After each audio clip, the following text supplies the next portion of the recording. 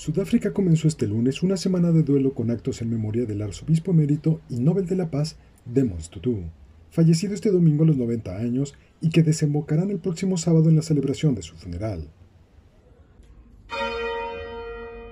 Hasta el próximo viernes, las campanas doblarán durante 10 minutos cada día en la Catedral Anglicana de San Jorge en Ciudad del Cabo.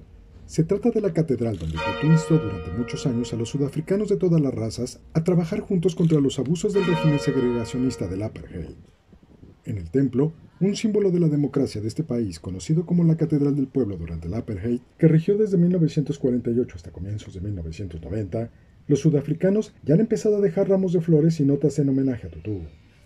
De hecho, el funeral del ganador del Premio Nobel de la Paz de 1984 concedido por su eterna lucha contra el sistema segregacionista, se oficiará en la catedral este sábado a las 10 de la mañana, hora local. Según las autoridades eclesiásticas, más de 400 personas y más de 100 clérigos han expresado su deseo de asistir a las exequias, pero las restricciones para contener la propagación del coronavirus solo permitirán acoger en la catedral a un centenar de fieles.